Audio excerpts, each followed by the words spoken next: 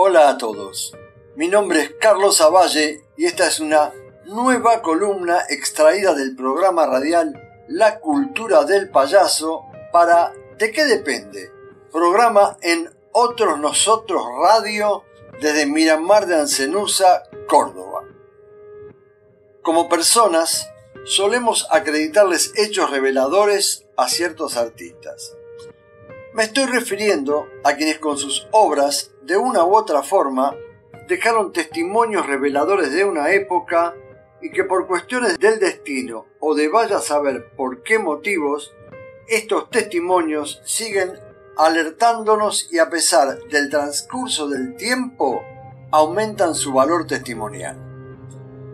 Podría entonces citarle como ejemplo, y solo para marcarles algunos de los tantos hechos a los que me estoy refiriendo hoy en esta columna cuando hablo de artistas iluminados, a los escritores como Julio Verne, anticipándose con sus utopías que con el pasar de los años se convertirían en realidades.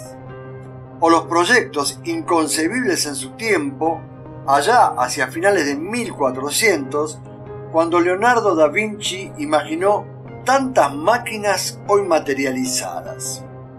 Recordemos la icónica película de Fritz Lang del año 1927 llamada Metrópolis, que vista años atrás nos parecían escenas imposibles de vivir fuera de esa ficción y que además está a explicar la actualidad que han cobrado.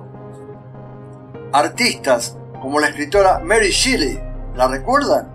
La escritora que creó Frankenstein, que con su novela titulada El último hombre en el año 1826 narra la historia de un mundo futurista arrasado por una plaga.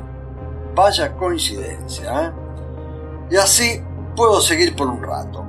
Stephen King y su libro Apocalipsis de 1978, la película del francés Georges Méliès titulada Viaje a la Luna del año 1902, la novela de suspenso de Dean Koontz llamada Los Ojos de la Oscuridad, ¿eh?